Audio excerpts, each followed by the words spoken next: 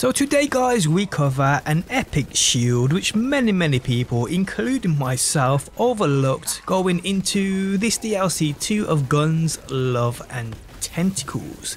Today we take a closer look at the shield and what it's actually capable of. How's it going guys, my name's DPJ and today I'll bring you another BL3 video. If you do enjoy it leaving a like really helps out and subscribe if you do want to see more. Also guys, for all things gaming, no matter the platform you play on, check out G2A linked within that video description. With amazing deals and all you need, do check them out. So the shield, the Adrenaline Initiative, is a shield you actually get near the start of the Guns, Love and Tentacles DLC, which most like me actually overlooked. I mean, it's early on into the DLC, why would this thing be anything special? Well guys, it is. The shield is absolutely amazing and that's because it allows you to fire, well, any weapon like this. Notice that? Split second reload to a point of you not really noticing it and guys you can make it even faster and I'll explain exactly how you do this in a second but before we get into that guys more about the shield. This is a one time drop and it drops from Vincent near the start of the DLC. I believe it's the first boss fight we have to get through.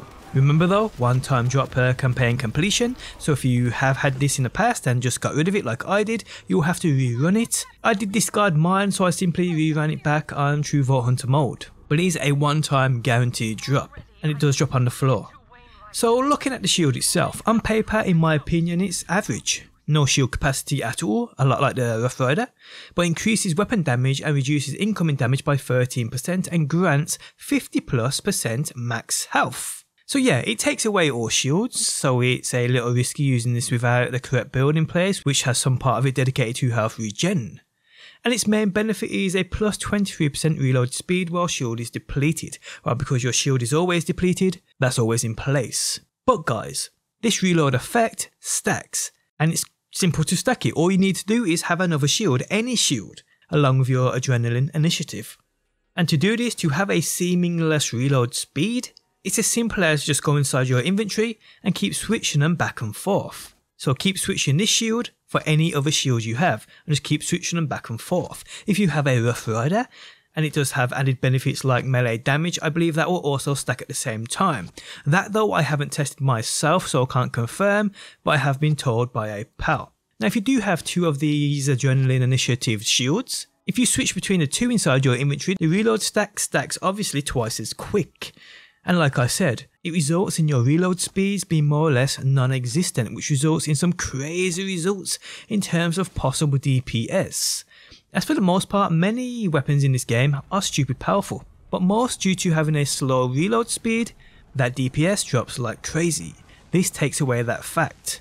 And what's also amazing about this is people, you can fast travel and it keeps the stacks. What you can't do is though quit out and load back in or go into your inventory and switch out the shield for something else. Also I will state stacking only works within one instance you're inside your inventory. So if you're inside your inventory stacking for 5 minutes, get an amazing stack, go back into your inventory and try and stack again, it removes the first lot of stacks you created. So keep that in mind people. So yeah guys, I thought I'd just bring you this short video for the people out there interested in experimenting with this like I am and I will continue to do into the night and if I do figure out anything interesting you guys will be sure to find it right here on my channel tomorrow so stay tuned for that guys.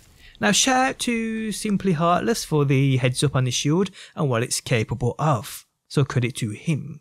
So yeah guys, a super interesting epic shield, one I guarantee you most people overlooked, because on paper it doesn't look that great, when in reality it's actually amazing.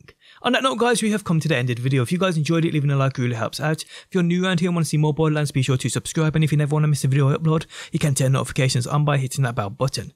But guys, thanks as always for stopping by. Hopefully you enjoyed the video and hopefully I will see you on that next one.